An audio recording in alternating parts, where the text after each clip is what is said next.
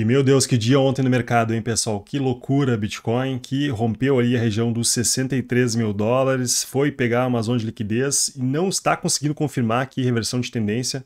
Nesse momento, vamos olhar aqui esse P500 caindo, né? fazer uma correção aqui grande nesse momento, esse que está puxando o Bitcoin para baixo aqui. Ontem que foi, puxou o Bitcoin junto aí, essa correção que teve. E vamos ver para até onde pode ir o Bitcoin aqui agora, tá? Porque tá tenso a coisa aqui, não tá fácil não. Vamos dar uma olhada em tudo isso. Agora acabei de tomar um stop aqui, gain no Bitcoin, uma outra compra que eu fui, fui fazendo, acreditando que o Bitcoin pudesse reverter a tendência que não aconteceu, tá? Vou mostrar tudo para vocês que eu, que eu quis dizer, que eu quero dizer com isso, até o final do vídeo. Fica até o final aí, deixa o likezinho que é muito importante. Então vamos lá. É, bom, ontem Bitcoin ele acabou não segurando ali na, no suporte, né, nessa base aqui, tá? começou a mostrar que fez uma, uma reversão aqui, uma, uma reversão não, uma quebra de mudança de caráter aqui do, do preço, né? A gente acabou perdendo essa zona de demanda aqui para o preço. Então, buscando a região próxima aqui dos 62.300, 62.200 dólares aqui, né?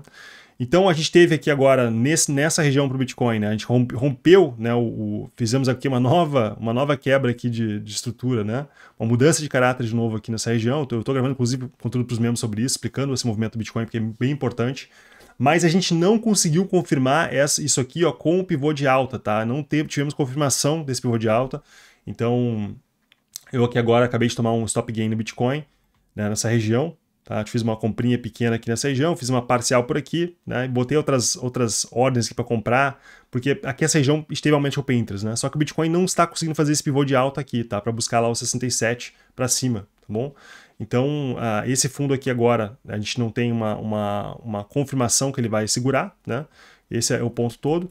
E a SP500 está puxando o Bitcoin para baixo, né? Então é isso que está acontecendo aqui agora. O mercado está dando uma correção, mesmo após, mesmo após, pessoal, excelentes dados aqui do payroll, né? O payroll saiu muito bom hoje aí, tá muito abaixo aqui do esperado, excelente indicador, mas mesmo assim, a gente teve aqui não só a SP500 caindo, também temos aqui, o DXY teve uma correção, pelo menos no curto prazo aqui, né? Deixa eu olhar, olhar com vocês aqui, tá vendo de manhã como está a questão do XY aqui, porque o DXY também. Espera aí, que o meu gráfico saiu. Vamos dar uma olhada. É, o DXY também despencando. Olha que loucura, pessoal. DXY despencando, SP500 despencando. Tá louco o mercado, totalmente insano aqui, tá bom? Então, assim, realmente vou ficar de fora um pouquinho, vou esperar ver acontecer, esperar o preço montar ali uma, uma base melhor, tá? Porque realmente tá, tá totalmente maluco isso aqui, tá bom?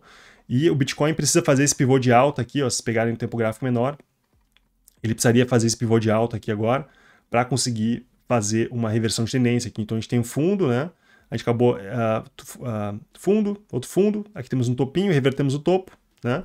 Tivemos um topo revertendo, só que precisamos fazer esse pivô de alta para poder ter chance de buscar aqui a região acima de 67. O Bitcoin não está conseguindo fazer isso, tá? Puxando para baixo, então acredito que o cenário mais provável aí é se ele buscar um fundo mais baixo que esse aqui, que poderia lá na região dos 60 mil dólares ali, tá? Vamos ter que ver como vai ser, mas tá feio aqui, a situação não tá bonito, bonito não, tá? Então, realmente complicado aqui o Bitcoin nessa região, pessoal, tá? Parecendo aqui que agora a gente vai ter uma, uma confirmação aqui desse, dessa, desse rompimento aqui, dessa mudança de caráter aqui do preço e podemos fazer, buscar mais abaixo aí, tá bom?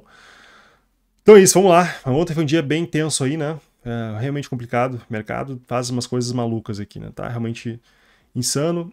Uh, eu vou fazer também conteúdo para os membros aqui. já estou gravando aqui, gravei várias aulas hoje aí também, tá? E vou soltar em breve aí, tá bom? Mas eu vou mostrar aqui sobre essa compra que eu fiz aqui, embaixo do Bitcoin, tá? Que agora acabei de ser estopado nessa compra aí.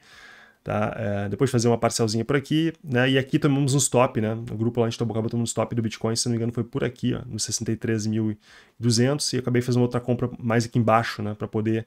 Que deu uma recuperada aqui nessa, nesse prejuízo, né? Mas foi uma compra muito rápida ali, mas é importante vocês entenderem o que está acontecendo nessa região aqui, tá? Então, quando a gente não, não tiver esse pivô de alta, que não está se formando, a gente está, o cenário mais provável é romper esse fundo, tá? Porque é como o mercado se comportou. Agora, com essa reversão, com essa mudança de caráter aqui, acho que é o mais provável de acontecer, tá bom?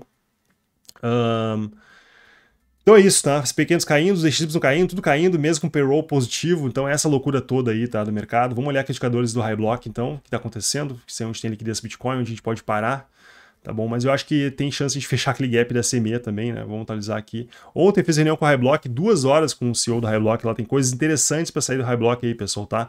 Inclusive eu tô fechando parceria com eles lá, que quem for aí, quem estiver utilizando o Highblock, em breve vai poder participar do grupo VIP sem uh, gratuitamente, tá? Se você estiver usando o Highblock com o link aqui do canal, você vai poder participar do meu grupo VIP lá do Discord sem é, pagar nada, tá bom? Então, é, vitalício enquanto você estiver usando o Highblock. Então, claro que é uma, uma conta por pessoa, né? Então, dá uma olhadinha aqui em breve.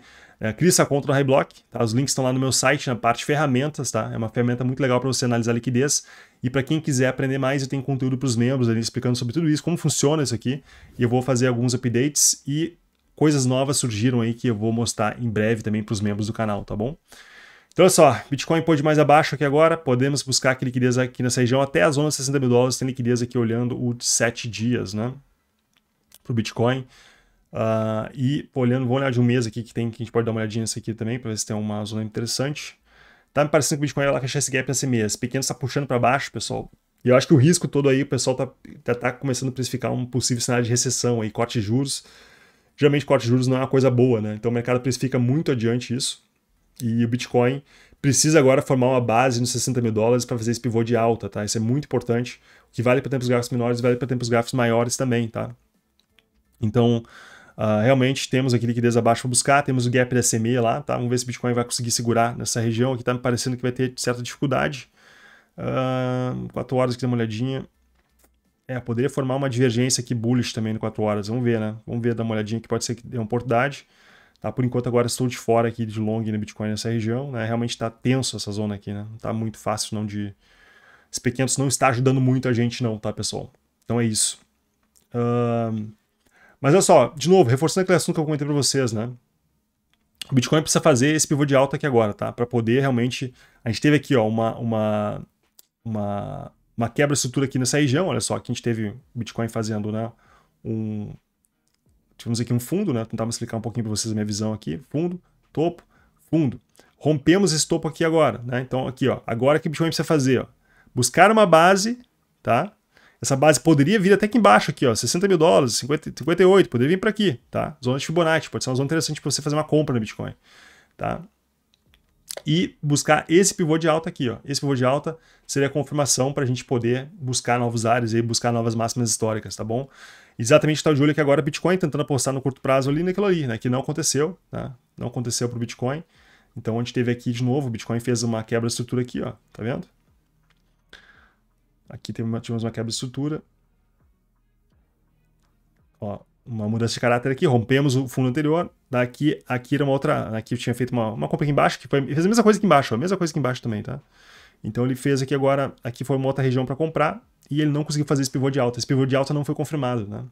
Então agora a tendência é maior realmente fazer um fundo mais baixo, tá? E vamos ter que acompanhar para o Bitcoin que agora até onde ele pode ir, tá bom? Então essa tendência, a tendência de baixa, ela não, no curto prazo, ela não acabou ainda, né? Ela acabe, acabaria essa tendência de baixa aqui, na verdade. Se a gente começasse, né, fazer esse pivô de alta aqui, rompendo isso aqui, seria interessante já, né? Daí podemos ter uma chance, chance maior. Acho que, na verdade, esse pivôzinho aqui, ó, no 67, seria melhor ainda, né?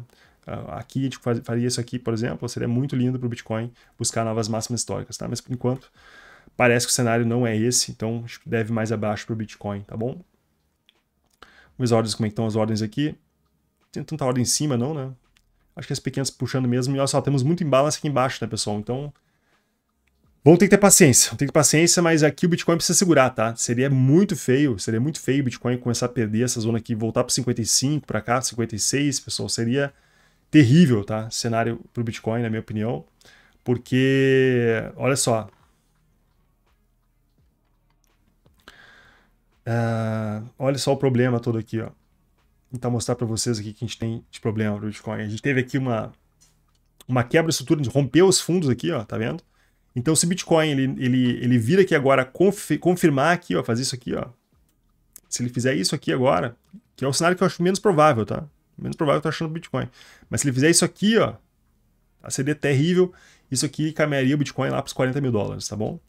Mas não acho que é muito provável. O cenário que eu estou, o cenário que eu estou trabalhando aqui agora no Bitcoin, tentando trabalhar, se, se esse me permitir, né, por favor, é tentar buscar uma base de preço por aqui, talvez fechar esses gapzinhos ou muito próximo ali, tá? Para fazer esse pivô de alta, tá bom?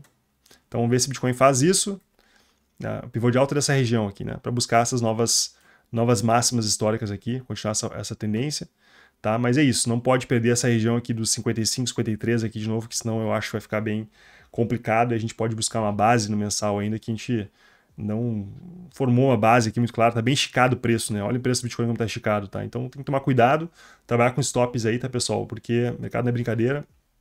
Eu prefiro estopar a operação do que ficar é, vendo o que vai acontecer, tá? Porque às vezes a gente não estopa, o preço volta, que nem foi o, o, o caso de ontem, foi estopado, né? O preço voltou lá para 65, né? Pô, podia não ter estopado a operação, mas uh, e se o preço continuasse caindo, né? Então a gente não tem opção, né? É realmente às vezes, é, no calor da emoção, você não pode ficar se dar o, se dar o luxo de ficar tomando decisões que podem é, te impactar, né? Ainda mais eu trabalho ali, muitas vezes no cross ali, é muito difícil de, de, de deixar esse tipo de coisa acontecer, tá bom? Então é isso, o mercado ontem foi insano, vamos ver se hoje as coisas voltam a normalizar, mas está realmente bem maluco aqui, com DXY caindo, com SP500 caindo, Bitcoin caindo, não conseguindo reverter ali, então vamos ver o que rola ali, participe no grupo VIP Discord, pra, que a gente está discutindo ali no dia a dia o que está acontecendo, tá? Então hoje de manhã eu estava gravando, gravando, algumas aulas ali, por isso que o pessoal do grupo VIP não, não conseguiu participar muito ali, mas comentei sobre o payroll, que achei o payroll muito bom aí, né? Tá bom? Então é isso. Deixa o likezinho embaixo do vídeo aí se você puder apoiar aqui os conteúdos do canal. E a gente se vê então na próxima. Vamos ver se Bitcoin segura aí nessa zona dos 60 mil dólares e faz esse pivô aí, senão coisa fica tensa. That line in the Constitution is being carried out by Bitcoin. Not by guns, not by militia, not by so-called domestic violent extremists. It is a silent revolution.